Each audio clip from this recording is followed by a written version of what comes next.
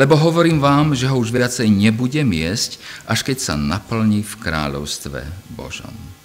A vezmúc kalich, poďakovať a povedal, vezmite toto a rozdielte medzi sebou. Lebo hovorím vám, že odteraz už nebudem nikdy piť z plodu viniča, dokiaľ nepríde kráľovstvo Božie. A vezmu chlieb, poďakoval a lámal, dával im a povedal, toto je moje telo, ktoré sa za vás dáva, to činte na moju pamiatku. Taktiež i kalich, keď bolo po večeri povediac, tento kalich je tá nová zmluva v mojej krvi, ktorá sa vylieva za vás. Za vás vylieva. Ale hľa môjho zrádcu je, za, je so mnou za stolom. Syn človeka síce príde tak, ako je uložené, ale beda tomu človekovi, ktorý ho zrádza. A oni sa začali medzi sebou dohadovať, ktorý z nich by to asi bol, ktorý by to mal urobiť. Toľko ščítania Božieho slova. Teraz sa chcem dotknúť takej jednej zvláštnej veci, ktorá tu je. Je to veľmi dobre známa vec. Pán Ježiš príde a keď ustanovuje Večeru pánov, Večera pánov je úžasný Boží dar, úžasný prejav Božej dobroty. My sme si minule hovorili o tom, že, že vlastne vierou smieme príjmať tie veľké požehnania, ktoré sú len v ponebeských oblastiach, vlastne práve pri účasti na Večeri pánov. A to je jedna vec. A, dneska by som chcel hovoriť o inom detaili Večeri pánovej. A to je to, že pán Ježiš tam príde a on tam osobne sedí ešte vtedy, sedí tam osobne a povie, že a, keď, ve, keď vzal chlieb a lámal ho, tak im povedal, že toto je moje telo, ktoré sa za vás dáva. A súčasne oddelenie od toho príde a povie, a toto je moja krv, a, alebo zmluva mojej krvi, ktorá sa vylieva za vás. Úplne jasne teraz pán Ježiš hovorí symbolicky, však? A ja teraz nechcem zájsť do toho, tej debaty toho, toho symbolizmu ale, alebo, alebo skutočnej účasti tela a, krv, a, a krvi pána Ježiša. Ja chcem hovoriť o čomsi inom, čo je nezvratne jasné. Večera pánova hovorí úžasným spôsobom pre, ku každému jednému z nás. Už Večera pánova symbolicky kričí o Božej milosti.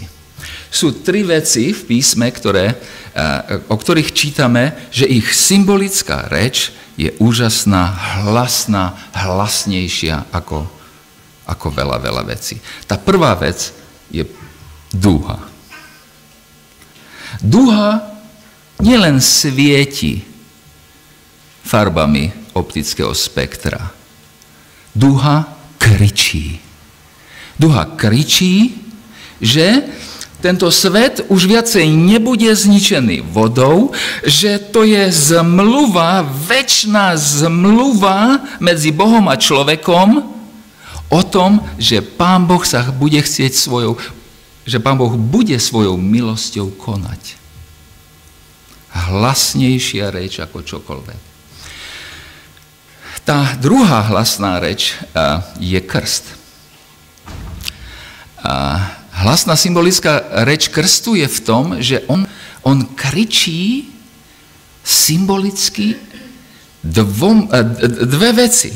Tá prvá, opäť je to o Božej milosti, ale tá prvá hovorí, že čo sa stalo v Pánu Ježišovi skrze Božiu milosť a to druhé, že čo sa môže stať s nami a skrze Božiu milosť. Opäť tak rovnako ako, ako dúha, tak aj krst je, je, je symbolickým krikom s radostným zvestovaním Božej milosti. A Večera pánova je tretia vec, ktorá je úžasným, a úžasnou rečou, hlasnou rečou o Božej milosti. A tak sme na mieste, keď máme dve veci, keď robíme dve veci, oddelenie, oddelenie. Berieme chlieb a berieme víno. Nemohli by sme naraz obidve chlieb aj víno? Mohli by sme. A, ale pán Ježiš to ustanovuje, aby, aby, aby to oddelil. Aby, aby opäť tu zaznela reč, hlasná reč cez, cez tie symboly, o čom pán Ježiš hovorí. Robí to rovnako a samozrejme aj, aj apoštol Pavel v slovách ustanovenia. Tak teda je tu teraz symbol tela. Čo, čo symbolizuje telo? Alebo čoho silnou rečou, o čom kričí telo, ktorého účast, na, ktorého, na ktorého sa účastníme? To hovorí o tom, že je tu bezchybný život, bez hriechu život. Že je tu život pána Ježiša Krista, ktorý bol absolútne dokonalý v každom jednom smere, v každom jednom rozmere toho, čo pán Ježiš šiel. A ten dokonalý život vlastne nakoniec pána Ježiša predstavuje dokonalú spravodlivosť pána Ježiša. A tá jeho dokonalá spravodlivosť teraz má byť čijou spravodlivosťou? Našou spravodlivosťou. A potom je tu krv pána Ježiša. Krv pána Ježiša samozrejme znamená to, že, že, že sa jedná o krv, ktorá je vyliatá, teda, teda to je symbol smrti aj to, aj to lámané telo je symbolom smrti, ale, ale, ale teraz, keď, keď je tu vybrata špeciálne krv, tak e, verím, že je to o, o tej samotnej obeti, o tej podstate tej obeti. Inými slovami, absolútne dokonalá spravodlivosť je obetovaná je nám imputovaná. Je, tá obeď, dokonalá obeď je prinesená za, za teba i mňa. Inými slovami, symbolické, jedinečné, kričiace slovo o tom, že Pán Ježiš si vymenil s nami miesta. Žil život, ktorý sme my mali žiť a zomrel smrť, ktorou sme, a, a, ktorou sme my mali a, žiť. A aby, aby, jednoducho on, my sme mali žiť taký život, jak on mal, a nežili. My sme mali zomrieť, on ho žil a on na, na, na, na miesto nás zomrel. Takže my vlastne prichádzame k Večeri pánovej, prichádzame ku pánovi, aby sme vlastne hovorili, e, všetky tie tri symboly, o ktorých som hovoril, sú jasným svedectvom o toho, že, že, že je tu zvrchovaná dobrota e, Božia prejavená e, skrze milosť v Pánu Ježišovi. A účasťou na Večeri pánovej vlastne aj osobne, a teraz to už nie je symbolické, teraz osobne svedčíme o tom, že takúto milosť potrebujeme. Samozrejme, že sme pri tom, že potrebujeme brať hodne a potrebujeme preskúmať sa, že či to, ako pristupujeme k Večeri pánovej, je hodné. A tu sú také dva testy, ktoré potrebujeme. Aj v súvislosti z tej urobiť pre, každý jeden pre seba aby, sme, aby nám bolo jasné, aby, aby každému z nás jasne bolo povedané e, z našho vnútra, či mám, či môžem pristúpiť k Večeri pánovej. Ten prvý test e, hod, uh, hodného brania je, veríš, že milosť, že, je tu, že, že túto milosť potrebuješ. Že je tu, veríš Pán Ježišovi, ktorý bol dokonalý, spravodlivosť obetovaná dokonalým spôsobom za teba? Veríš? Ak neveríš, neber účasť na Večeri Pánovej. Nebudem to rozvádzať. Jednoducho to, to nedáva potom nejaký zmysel, ale ten druhý test hodnosti, brania Večeri pánovej je a si žiješ tou milosťou? Činíš pokánie? Inými slovami, veríš tej dokonalej obeti a žiješ touto dokonalou obeťou? Ak je v našich životoch hriech, ktorého sa nechceme zbaviť, ak je v našej živote niečo, čo za nejakú cenu sa nechceme zbaviť, ja teraz nehovorím o tom, že, že je niečo, s čím bojujeme, s čím, čím nemáme síly, lebo znova a znova prichádzame ku pánovi, pane, daj mi to zvládnuť ináč, pane, prosíme, daj milosti.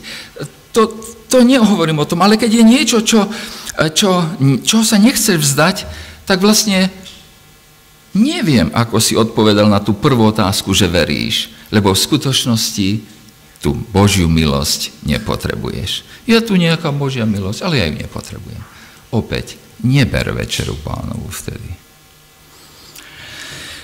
Ale radosné je to, že, že vlastne v tom našom, v tom našom prežívaní toho, ako pristupujeme k Večeri pánovej, môžeme vlastne prísť ku pánovi a vyliať mu svoje srdce a povedať, pane, verím, pomôž mojej nevere, pane, odpusť, pane, buď milostivý, pane, daj moc zmeniť to, čo ja nedokážem sám. A tieto dva testy,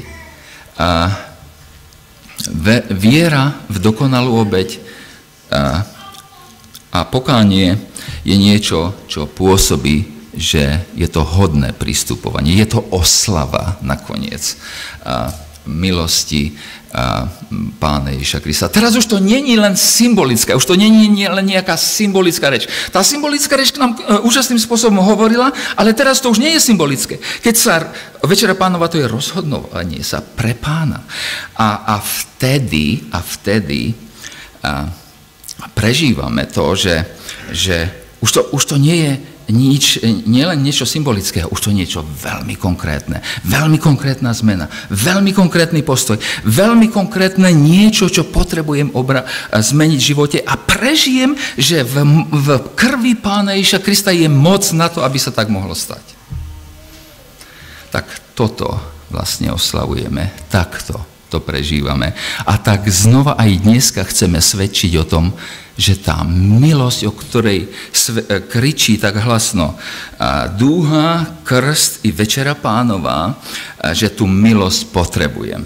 Že tú milosť potrebujem ja dneska a že ju, ne, že ju neberiem nadarmo. A teraz už len záverečné slovo. Vlastne vždycky, keď prichádzame k Večeri pánovej, tak sa nám zdá, že, že to je také čosi zvláštne, že, že je to o nás, ako my vystúpime k Pánu Bohu, priblížime sa k mu, nejako si ho udobríme a on niečo potom urobí s nami. Oj nie, Večera pánova nie je o tom. Večera pánova je presný opak.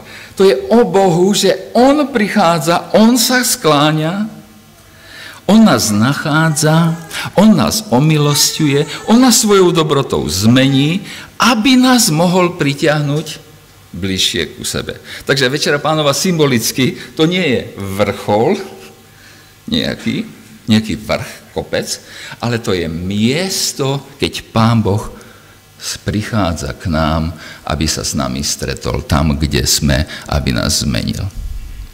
A to svedčíme. O tom hovoríme. Toto je za tým, keď teraz budeme brať Večeru pánovu. Tak by som chcel teraz, aby sme strávili chvíľu času v tom, keď, eh, keď zostaneme sami pred našim pánom, aby sme mu povedali, pane, ďakujem ti za tvoju milosť. Ďakujem ti za to, ako hlasno kričí, ako hlasno je zvestovaná a ako jasne bola zvestovaná aj mne. Chceme mu vyznávať, že tú milosť znova a znova potrebujeme a chceme prosiť. A chceme mu povedať, že, to, že ju nechceme brať nadarmo. Že, že nie sme tí, ktorí, ktorí, eh, ktorým je len nejaká, je to nejaká informácia, ale niečo veľmi úžasné, zvláštne, čo k nám skutočne jedičným spôsobom prehovorilo. A chceme vyznávať, že čo všetko ešte potrebujeme meniť, aby tá milosť, aby tá dobrota pánová, o ktorej budeme za chvíľu hovoriť oveľa viac, um, bola zjavnejšia a zjavnejšia pri každom jednom z nás. Tak prosím, stíšme sa a zostaňme chvíľu ticho pred našim pánom v modlitbách, aby sme, aby sme mu ďakovali, aby sme ho prosili, aby sme vyznávali, ďakovali, prosili. Ja to potom ukončím. Eh, jednak eh, velice srdečný pozdrav od našeho pražského sboru. Eh, vždycky jsme pověřovaní, aby všude, kam zabloudíme, abychom přinesli pozdrav od našeho sboru, takže Vinohradský sbor srdečně pozdravuje a protože jsme také městský sbor, víme, co to obnáší, sloužit ve větším městě. Kde Pán Bůh má pro nás možná větší příležitosti, ale také větší překážky a větší pokušení. Já jsem se dneska s vámi chtěla rozdělit o, jeden velice, o jednu velice vzácnou lekci kterou mě pán Bůh dal přes počítač. Eh, mnozí, mnozí z vás možná, že se děsíte, pokud máte počítače, jaké všelijaké děsivé zprávy a otřesné a strašné eh, věci k vám přicházejí. Totež, když zapneme zprávy v televizi nebo když sáhneme po novinách, je plno toho děsivého, co se na nás valí. A já jsem si přitom uvědomila, jak jsme nerozumní. My se vlastně vůbec nemáme zajímat o to, co koná Satan. A jak si vyplňuje ten krátký čas, který mu ještě zbývá ale máme se dívat na to, co dělá pán Ježíš v naší době. Teď on buduje svoje království, on připravuje svůj příchod. Dívejme se na Izrael, jak se připravuje na příchod Mesiáše. Dívejme se na rozvlažení, které je na mnoha místech. Dívejme se na to, jak se doplňuje počet mučedníků v naší době, že žijeme v době páté pečeti co nevidět a za rohem je šestá, sedmá pečeť a návrat Pána Ježíše pro jeho církev. My jsme tady proto, ne abychom se strašili z toho, co dělá Satan v naší době, ale abychom se radovali z toho, co pán Ježíš dělá v naší době. Jeden moje zín, ten duchovní islámský, na otázku, jestli je to pravda, že se v naší době hodně muslimů obrací k pánu Ježíši, řekl, je to pravda. A představte si, tisíce, tisíce muslimů denně se obrací k Pánu Ježíši Kristu. A já jsem dostala na internet takovou velikou konferenci obracených muslimů, ruce vzhůru vstyčené zpívají chvály o Pánu Ježíši. Tak to je. Dívejme se na to, co Pán Bůh koná, jak se Duch Svatý namáhá, aby konečně tu byla církev bezposkvrný a vrázky, ta nevěsta Pána Ježíše a spolupracujme nasaďme všechny svoje síly, všetek svůj čas na to, aby tu byla církev bezposkvrný a vrázky, která se těší na nádherný den, na svatbu Beránkovu, kdy pán Ježíš svoji nevěstu vyzvedne k sobě. A to jsem vám chtěla velice položit na srdce, protože nedívejte se na to, co dělá Satán a jak se snaží využít ten poslední čas, který mu zbývá. Ale dívejme se na to, co dělá Duch Svatý, aby připravil nevěstu pro Pána Ježíše Krista. A pomáhejme mu. Srdečne ďakujeme za pozdrav, aj za to posolstvo. Myslím, že to je veľmi krásne posolstvo. Nedívaj sa, ako zúri, tento, eh, ako zúri diavol, dívaj sa na Pána Ježiša Krista, na toho, ktorý je, ktorý je veľvodcom, ktorý je dokonávateľom našej viery. Chceme sa dívať z Božej milosti na to, čo On koná. Nech nám Pán tam pomôže. Otvorme si Božie slovo, ktoré je zapísané v epištole Efežanom. A z tejto epištoly budeme čítať niekoľko veršov zo 4. kapitoly. Epištola svätého Pavla Efežanom, 4. kapitola, od 29. verša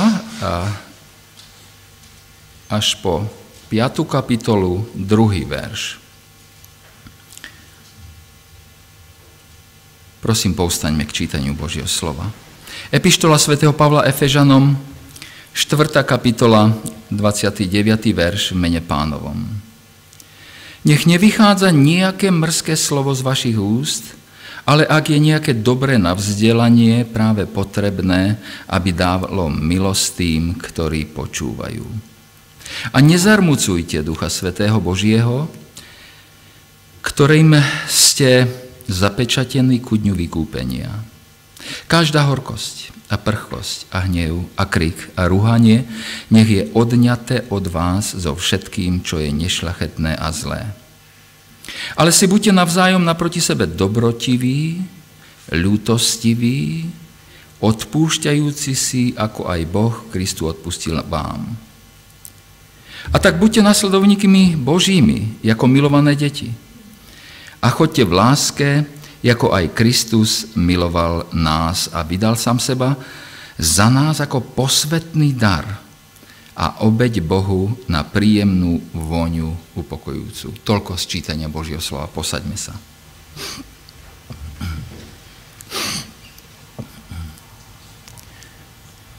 Pred časom, už je to dosť dávno, už je to 10 rokov a tak nepredpokladám, že si to pamätáte som kázal takú sériu kázní o zmenenom srdci. Bolo to, bol to výklad prvej epištoly Korintianom 13. kapitoly. A v takých šiestich zamysleniach sme hovorili znova a znova jednu zvláštnu vec. Že je možné byť obdarovaným, byť najvyšším možným spôsobom morálnym človekom a pritom robiť všetko nie pre iných, ani nie pre Boha, ale bez lásky a iba pre seba. Povedali sme si, že tá stará sebecká hrôza sa deje, ak veci robíme srdcom, čo, nie, čo je nutené iba morálkou, ale nie je zmenené v jadre. A zmenené srdce to sú zmenené motívy prežitím lásky Pána Ježiša Krista. To je prežiť ospúšťajúcu milosť Pána Ježiša. To je prežiť Boží pokoj, Kristov pokoj. To je byť zmenený pohľadom do budúcnosti. To je byť zmenený prežitím prijatia Kristovou láskou. To som vymenoval vlastne témy tých kázaní, ktoré sme doteraz absolvovali. To je tá láska, ktorá vypôsobí schopnosť príjmať iných v láske. A ukázali sme si, že pôvod toho je v, v práci Božieho ducha v nás, ktorý znova a znova ukazuje na pána Ježiša Krista. A dnes by som k tým zamysleniam chcem dodať ešte jedno, že srdce človeka môže byť zmenené dobrotou. Dobrotou. Akou dobrotou? A náš text je o tom však. Náš text je o tom, že, že ale si buďte navzájom naproti sebe, jaký? Dobrotiví, ľútostiví a odpúšťajúci si. To je zoznam veci. A tak sa nám môže zdať, že, že ale veď e, kresťanstvo rovnako ako, ako aj ostatné náboženstva dáva iba zoznam pekných dobrých vecí, čo máme robiť. Je tak iba na prvý pohľad. Áno, je tu zoznam vecí, ale novozákonne pekné veci sú oveľa viac. Oni sú produktom Božieho ducha v nás. Ak chceme prežiť ak to, že budeme dobrí, v pravde dobrí, tak naše srdce musí prežiť dobrotu niekoho, kto ju zmení. Kto to naše srdce zmení. Máme byť dobrí.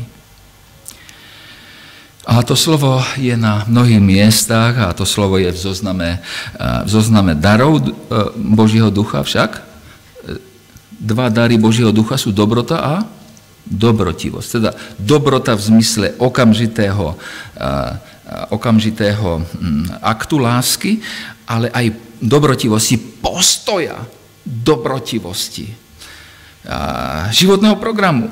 Alebo to slovo sa nachádza aj v hymne lásky. Láska zhovieva je dobrotivá. A tak ďalej.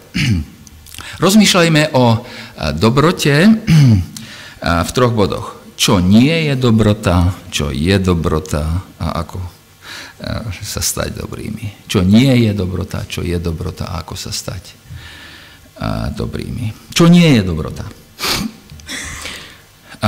Ten verš 32. menuje dobrotivosť e, v súvislosti s tom zozname s, trom, s ďalšími dvoma vecmi.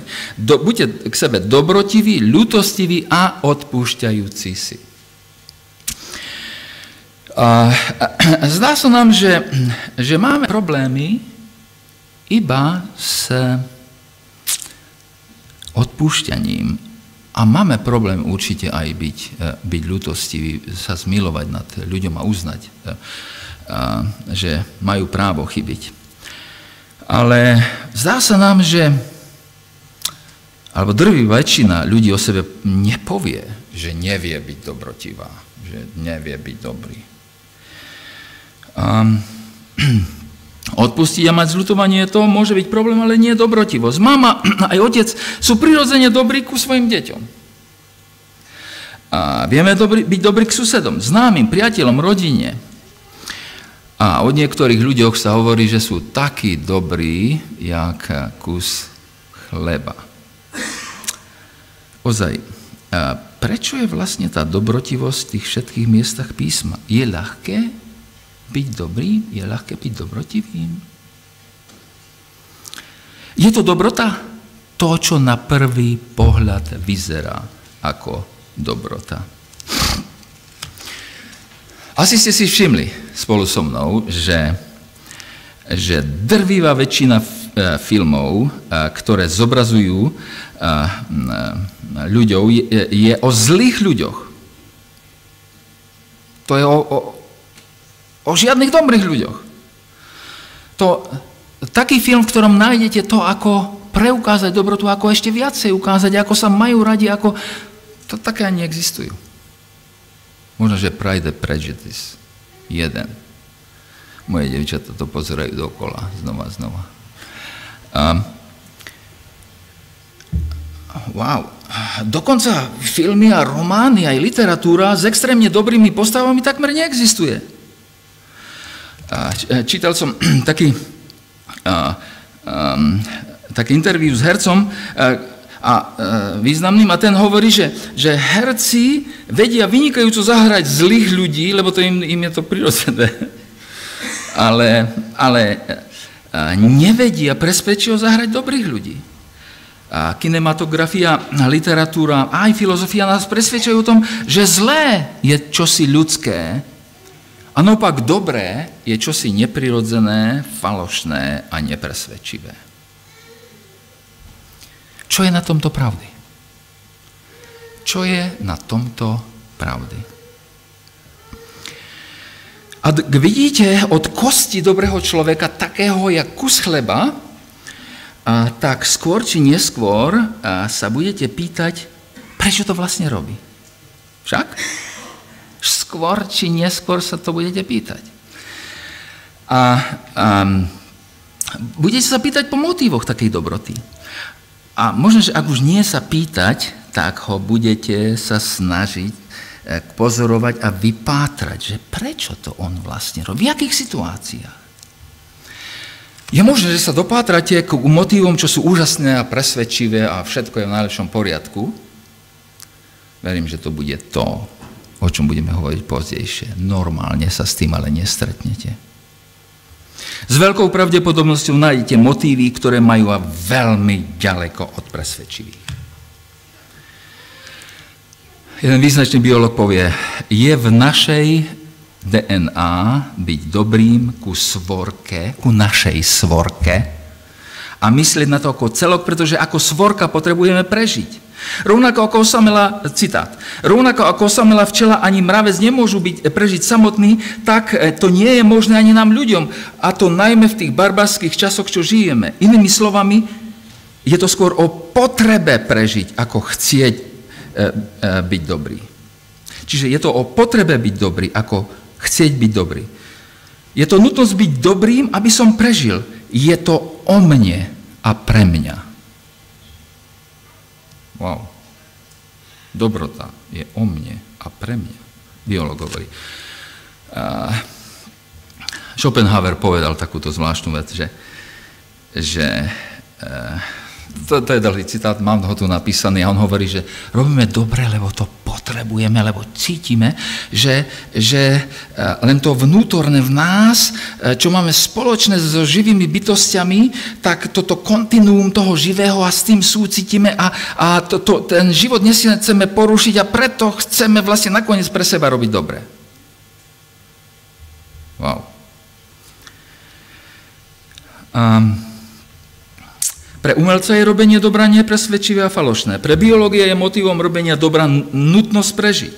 Pre filozofa je nutnosť vyplývajúca z akéhosi nejakého eh, transcendentného prepojenia všetkého živého. Nemusíme byť ani umelci, biológovia, filozofi a poznáte ľudí, čo robia dobre. A uvidíte, to je naša skúsenosť, E, že celé triedy ľudí uvidíte, čo robia dobre.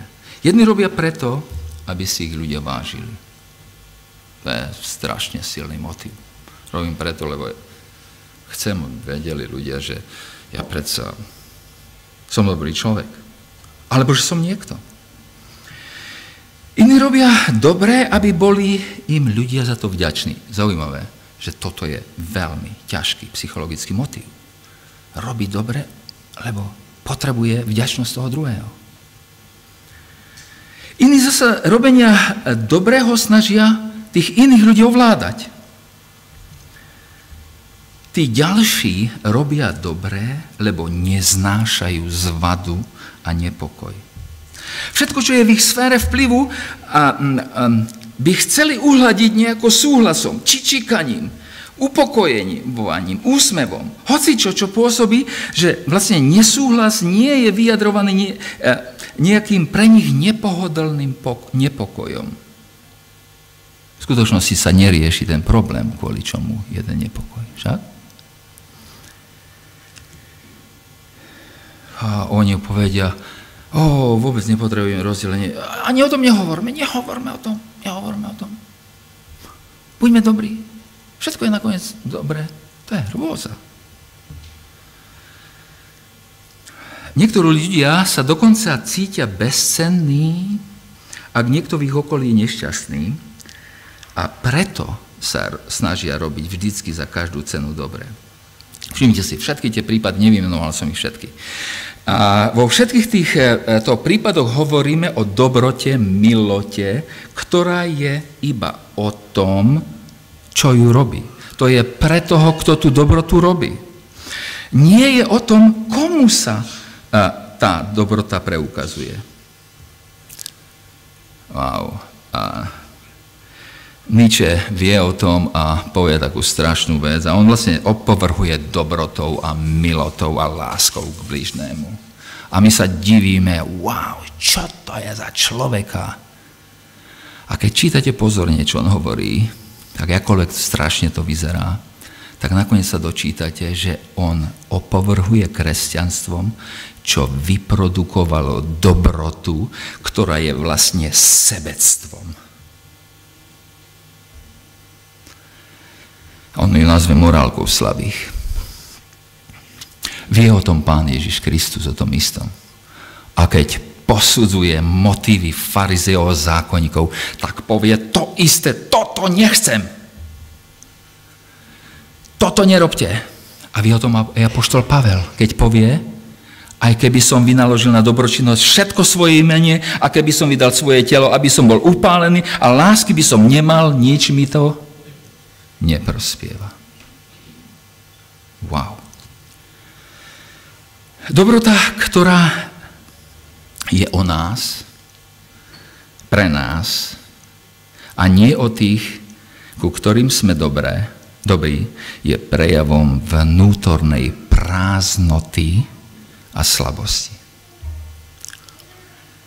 To je znetvorená morálka a takáto dobrota nie je konaná zmeneným srdcom, ale iba vlastným svedectvom, akokoľvek zabaleným do morálky.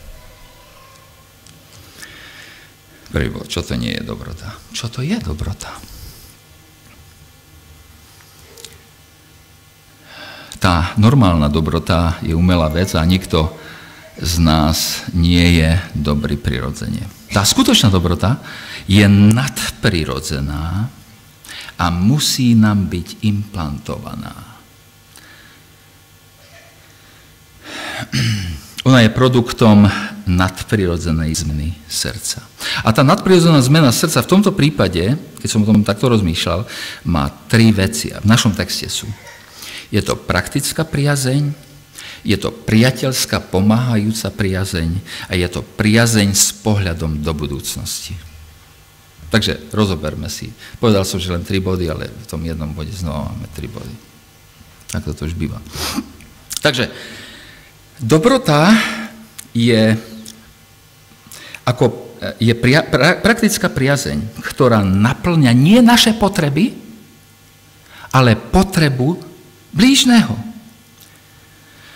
29. verš to povie. Nech nevychádza nejaké mrzké slovo z vašich úst, ale ak je nejaké dobre navzdelanie, a teraz práve potrebné, potrebné navzdelanie, aby sa aby dalo milosť tým, ktorí ho počúvajú. Ekumenický preklad tam má. A niečo, čo je dôležité, čo je potrebné na budovanie toho druhého. Toto robte.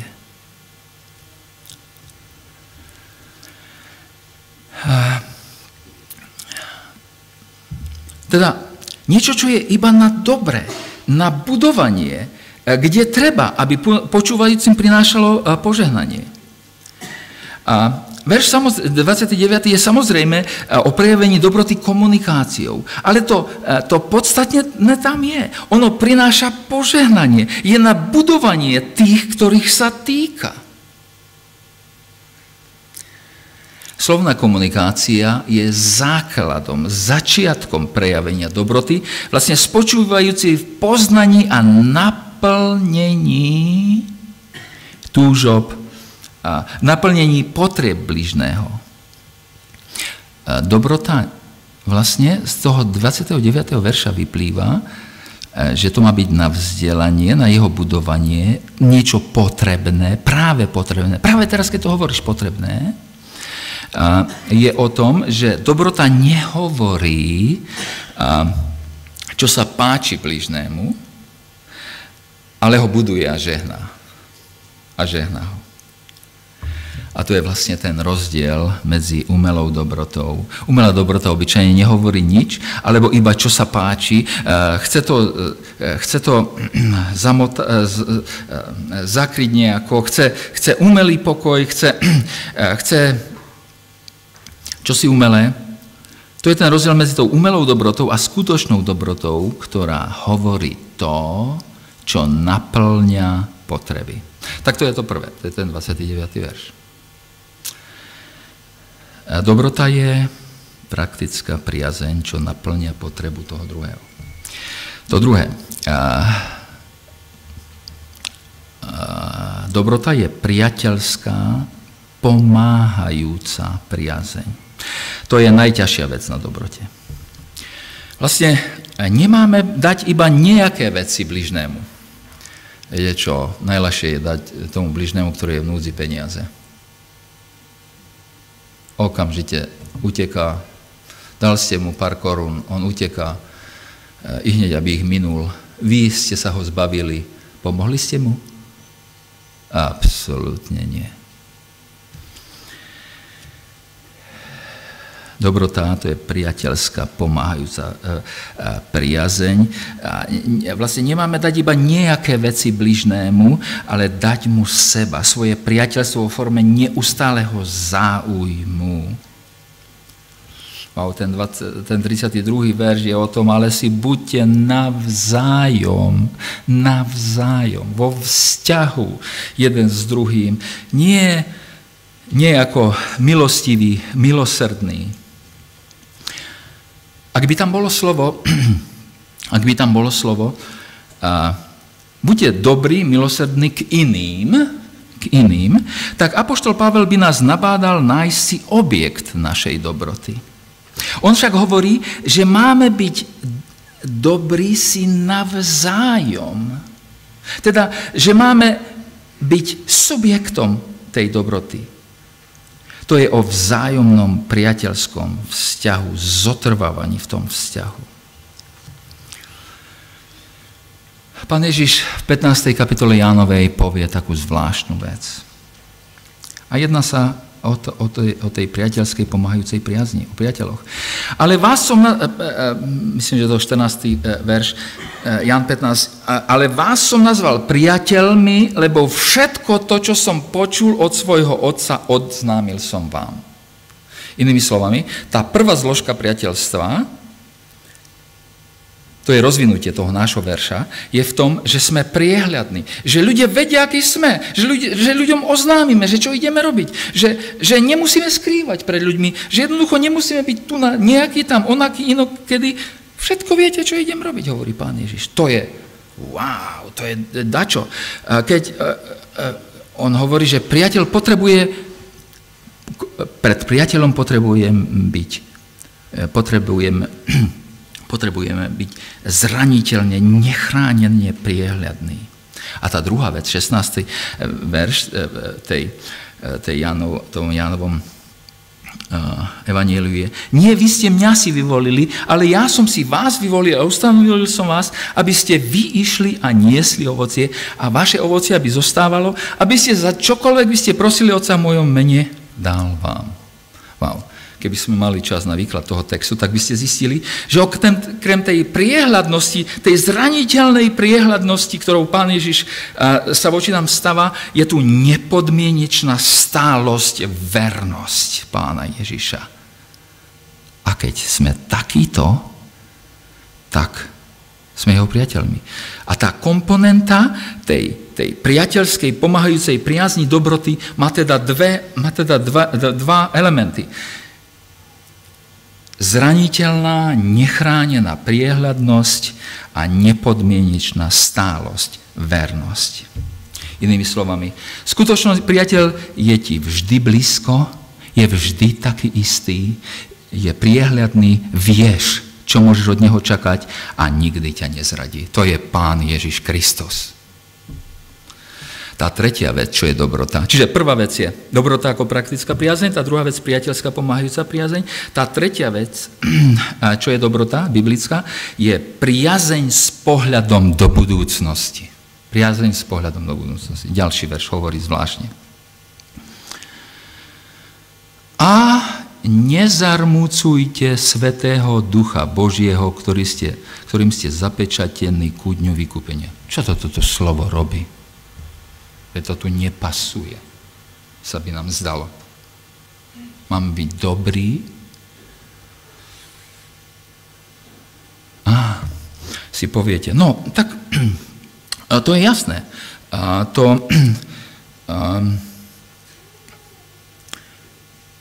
hmm, vlastne a, motív našej dobroty k ľuďom to je vec, na ktorú sa spýtame znova a znovu.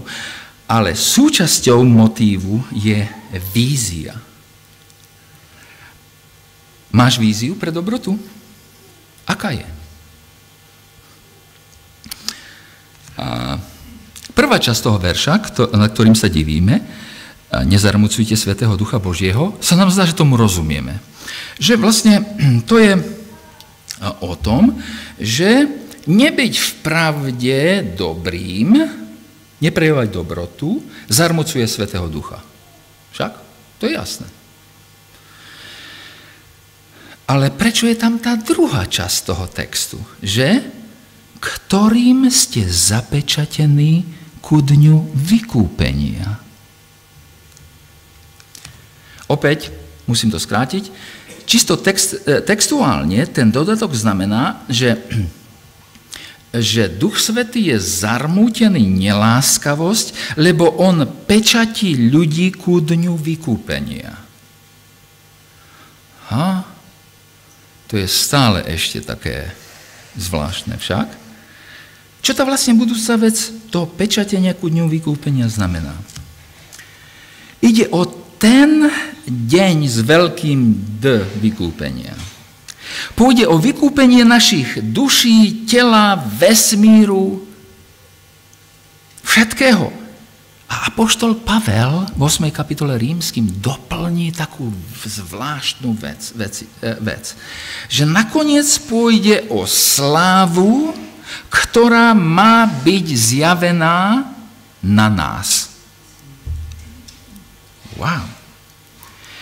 Duch Svetý pracuje s víziou tejto slávy pri každom jednom z nás. Tam do tej slávy toho dňa vykúpenia a Boží duch pracuje na tom, aby do tej slávy nás dostal. Aby do tej slávy, v ktorej, a to je sláva, v ktorej každá nedobrá vec, nedobrota nemá miesto. Vlastne ide o e, víziu našej priazne s bližným, čo bude v súlade s víziou Ducha Svetého dostať toho bližného do Božej slávy. Wow. Príbeh každého jedného z nás je príbehom o tej sláve Dňa vykúpenia alebo o hrvoze pekla. A ten príbeh, do toho príbehu našich blížnych, nášho vlastného príbehu, navzájom vstupujeme. Boží duch je ten, ktorý nás chce zapečať, ktorý nás chce uistiť, ktorý nás chce dať, dať jasnú, jasné potvrdenie toho, že do tej slávy dospejeme. To je vízia slávy. Wow.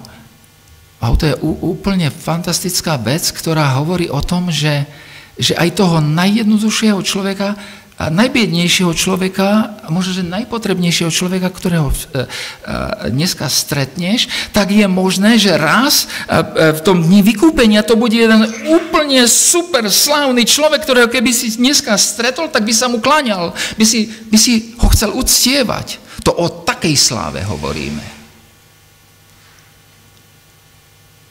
Alebo o hrvoze pekla.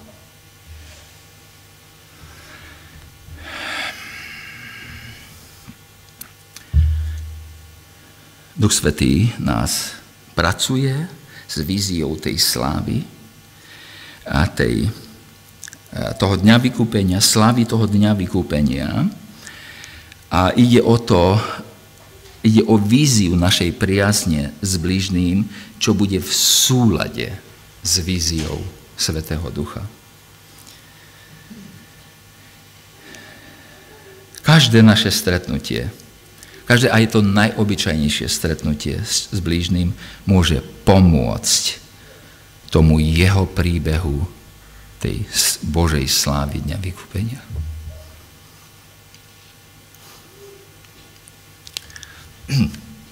Wow. Čiže dobrota je praktická priazeň, priateľská pomáhajúca priazeň, priazeň s pohľadom do budúcnosti.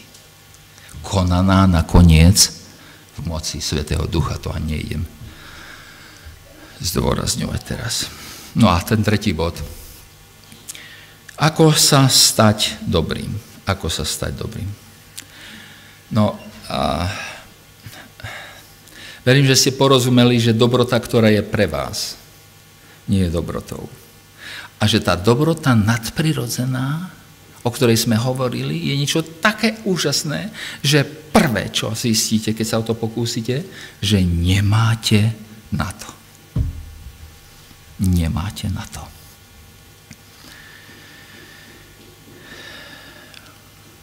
Kde vziať byť? Kde vziať moc byť takto dobrým? Kde vziať moc pracovať spolu s Duchom Svetým ku dňu vykúpenia, ku sláve toho človeka v dni vykúpenia. Odpovedie v našom texte. Ten, ten verš záverečný hovorí, že a buďte navzájom, prepáčte, 5.1, a buďte navzájom Božími bude navzájom nasledovníkmi Božími ako milované deti. A choďte v láske, ako aj Kristus miloval nás a vydal sám seba za nás ako posvetný dar na obeď Bohu, na príjemnú voňu upokojujúcu. Vlastne Apoštol Pavel nám hovorí, chceš takúto moc. Chceš byť skutočne dobrý. Chceš, aby tvoja dobrota, ktorá je o tebe, bola vymenená na tou nadprirodzenou dobrotou, ktorá je plánom pre teba. On hovorí inými slovami, skrátim to, on hovorí, pozri na Boha, ktorý bol dobrý k nám v Kristovi. A poštol Pavel to napíše úžasným spôsobom Titovi. A poštol Pavel napíše takto. Titus 3, tretí verš.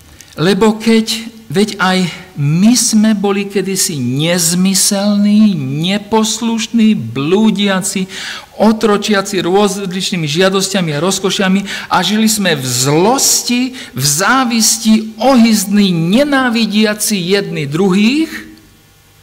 A teraz to začne ale keď sa zjavila dobrota a ľudomilnosť nášho spasiteľa Boha, nie zo skutkov spravodlivosti, ktoré by sme my asi boli činili, ale podľa svojho milosrdenstva nás spasil kúpelom opätovného splodenia a obnovenia Svetým duchom.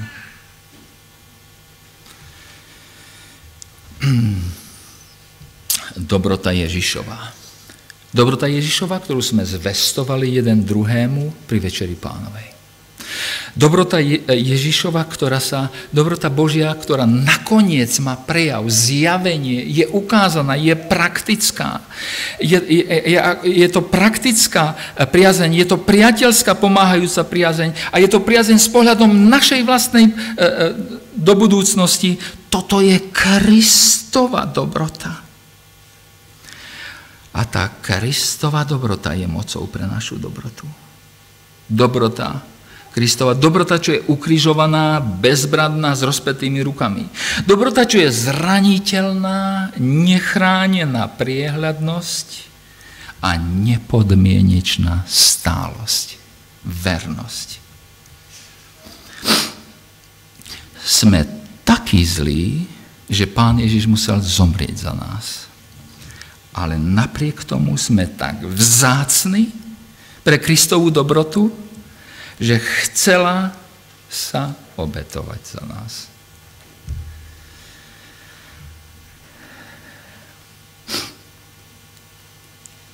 Tie dve veci Kristovej e, dobroty nás môžu premôcť. A keď nás premôžu, len vtedy budeme mať silu žiť život dobroty. Príjmi tú dobrotu Kristovu, urobi ju skutočnou pre seba, mysli na ňu. A stane sa pravdou aj pre teba, že nakoniec bude pre každého jedna z nás platiť, že sme dobrotiví, navzájom naproti sebe dobrotiví, ľútostiví, odpúšťajúci si. Pretože Boh Kristu odpustil nám. Nech nám Pán dá túto milosť. Amen.